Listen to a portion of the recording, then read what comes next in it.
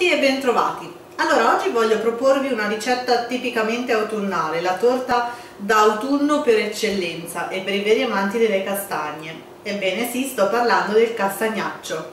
Castagnaccio è una torta eh, molto compatta, a base di farina di castagna, appunto, perfetta per questa stagione autunnale, sia per una merenda sia per una fine pasto. A volte va bene anche a colazione, perché no?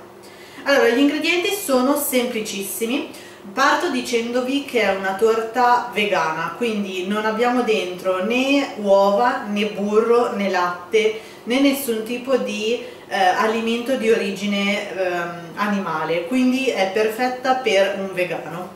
Gli ingredienti sono semplicissimi, la base, come vi dicevo prima, è farina di castagne, mi raccomando setacciata fine, qualsiasi marca va bene, eh, ha un colore leggermente brunastro, è normale perché è data dal frutto chiaramente da cui deriva. Acqua naturale, ve la consiglio a temperatura ambiente, va bene anche del rubinetto. Poi abbiamo della frutta secca, frutta secca io prediligo delle noci, dei pinoli e dell'uva passa. L'uva passa ce ne sono tre varianti, c'è l'uva passa ehm, turca, l'australiana, la cilena, io utilizzo la cilena, ha un chicco come potete vedere leggermente più grosso rispetto all'uvetta sultanina, si chiama sultanina quella turca piccolina, eh, potete usare benissimo quello che volete. Tra gli ingredienti non vedete, vi, vi dico solo che ci sarà un goccio d'olio d'oliva che servirà a cospargerlo sopra. E io vado ad arricchire il mio castagnaccio anche con delle goccioline di cioccolato al latte le ho trovate e voglio dare quel pizzico di golosità in più. Eh, chiaramente vanno bene anche fondenti vi sconsiglio le bianche. E eh, niente, vediamo come si fa. Allora. Allora innanzitutto partiamo mettendo in ammollo le nostre uvetta perché deve essere reidratata come si fa? Non si fa altro che met metterla in un bicchiere, in una ciotola, in un recipiente piccolino tanto non è tantissima e ehm, la copriamo. Fino a coprirla totalmente quindi non nell'intero bicchiere ma fino a raggiungere in questo caso metà bicchiere di acqua tiepida. Non calda, non fredda, tiepida se volete potete benissimo ehm, reidratarla anche con del liquore quindi vi consiglio o il marsala o perché no un rum ma non troppo carico altrimenti il vostro castagnaccio prenderà una nota molto più marcata. Io in questo caso vado a farlo in acqua così è adatto anche a chi non dovesse, eh, a chi non dovesse piacere l'alcol. Ok una volta che noi abbiamo coperto la nostra uvetta la lasciamo qui per almeno finché non, non ci serve con la preparazione. Altro step prima di iniziare a impastare tutti gli ingredienti è accendere il forno, quindi preriscaldarlo a 180 gradi statico. Eh, se il vostro forno è, è anche ventilato io vi consiglio di prediligere lo statico. Non è una torta che deve crescere deve semplicemente risulterà una torta bassa e bella corposa quindi non deve essere né alta né soffice né gonfia assolutamente. Andiamo quindi poi ad aggiungere nostro, la nostra farina di castagne la mettiamo in una bella bacinella capiente. Alla farina di castagne ho aggiunto un pizzico di sale. Il pizzico di sale nei dolci che trovate sicuramente in quasi tutte le ricette serve ad esaltare la sapidità.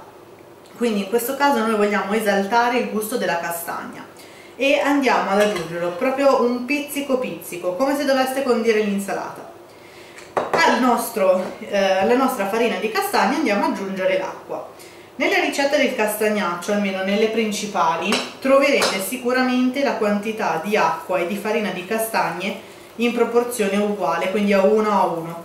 Significa stesso quantitativo di acqua, stesso quantitativo di farina di castagna. Se eh, chiaramente avete una farina di castagna che risulta un po' troppo mm, densa e corposa come impasto e non omogeneo, allora potete andare ad aggiungere quel tocco in più di acqua ma che siano veramente tra i 10 e i 20 grammi in più non troppo, non deve essere troppo liquida. E poi andiamo con una frusta a rimescolare il tutto facendo bene attenzione che non si creino grumi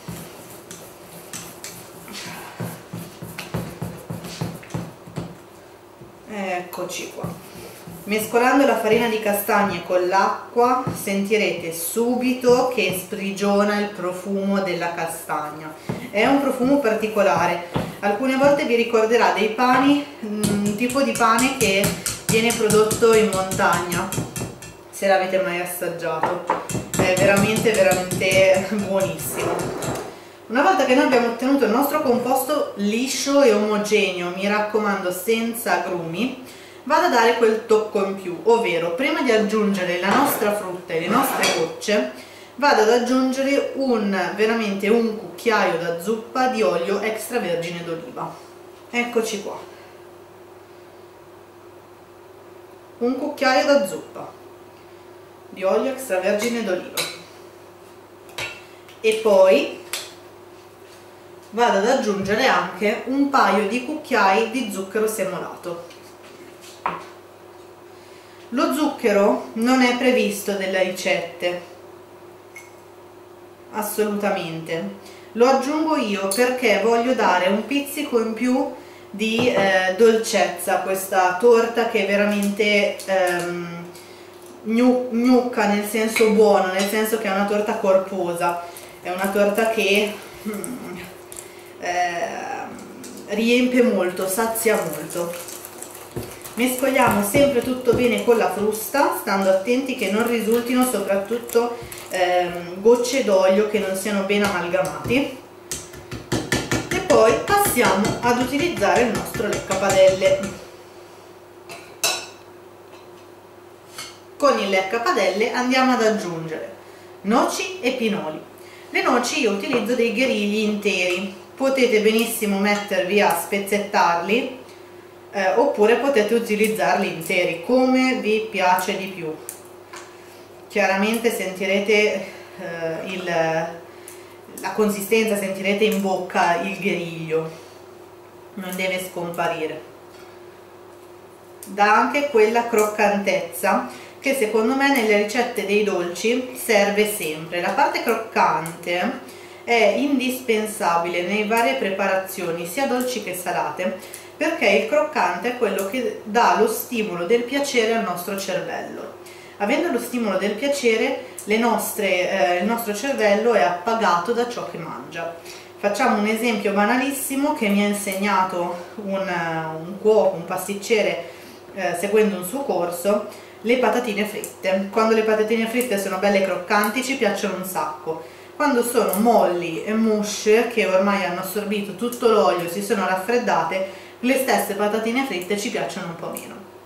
Questo perché il nostro cervello non percepisce il gusto eh, della croccantezza, proprio il sentore della croccantezza. Mettiamo le noci, mettiamo i pinoli mettiamo le nostre goccioline di cioccolato e per ultimo mettiamo la nostra ovetta. Nostra ovetta che chiaramente eh, sarà già quasi reidratata la lasciamo per ultimo. Iniziamo prima a mescolare questi. Ecco qua.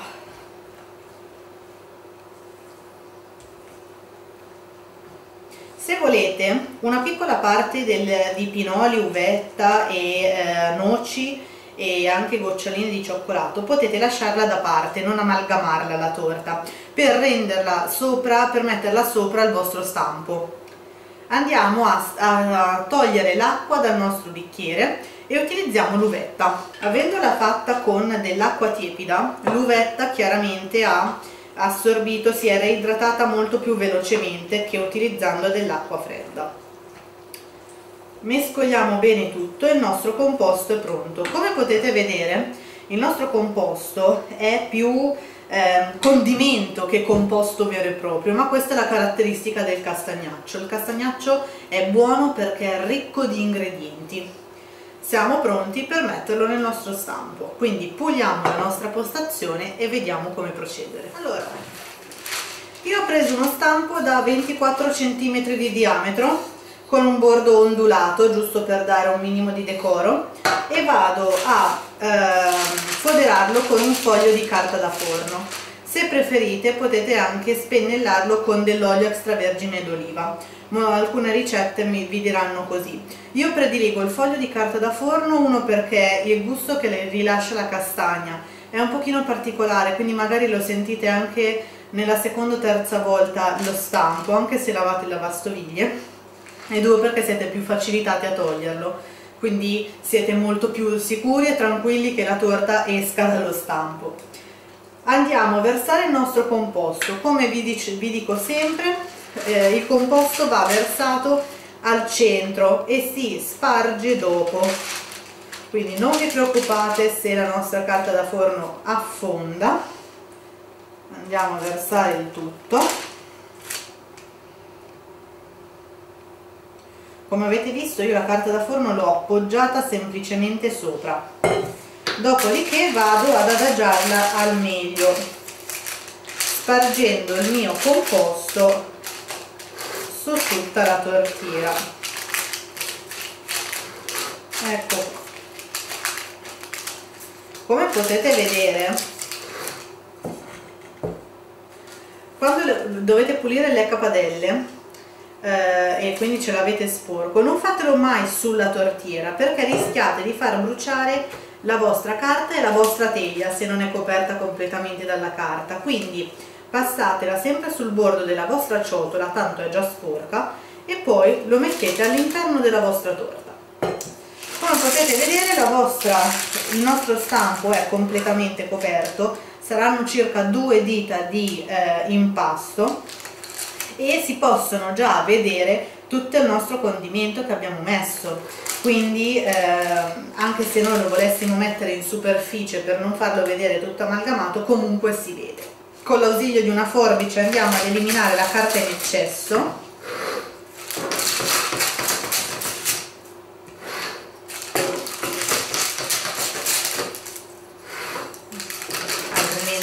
brucia e rilascia un cattivo odore sia nel forno sia nella torta. E come ultimo passaggio, ultimo ingrediente c'è lui, uno degli altri protagonisti del nostro castagnaccio, ovvero il rosmarino. Usate il rosmarino fresco oppure io mi compro, quando mi compro le erbe le coltivo dopo un po' me le ehm, congelo nel mio freezer e il gusto rimane completamente fresco, buono e eh, con un profumo veramente aromatico. Andiamo a spezzettare i nostri aghetti, mi raccomando state attenti a toglierli dal gambo, non mettete anche il gambo, sopra il nostro castagnaccio, ne spargiamo qualcuno e darà quel tocco in più che è veramente tipico di questo dolce. Eccoci qua rosmarino, vedere le erbe aromatiche nei dolci è molto raro, a meno che si facciano delle, delle cose particolari o, o, lo prevede proprio la ricetta ed è un vero peccato perché secondo me sono proprio degli ingredienti stupendi da usare, le spezie e le erbe aromatiche. E voilà! Chiaramente io me l'ero lavata già in precedenza, eh? Voi dategli pure una sciacquata se lo comprate fresco ancora a maggior ragione. Una volta che il nostro castagnaccio è pronto andiamo ad infornarlo ripeto forno statico 180 gradi centigradi per un 25-30 minuti. Eh, guardatelo a 20 minuti e se è pronto quindi se è di un bel colorino eh, bello eh, ambrato bello eh, marroncino e si stacca quasi dalla carta da forno vuol dire che la vostra torta è pronta. Altrimenti la lasciate dentro. Chiaramente come vi dico sempre dipende da forno a forno. Andiamo in cottura. E voilà il nostro castagnaccio è pronto. Dopo 30 minuti di cottura come potete vedere il nostro castagnaccio è bello cotto perché in superficie fa delle piccole crepe. Questo è dato dal fatto che non ci sono né uova né burro ma solamente farina e acqua e quel goccio d'olio. Infatti vedrete che i contorni saranno leggermente umidi al, al, um, al bordo della vostra tortiera.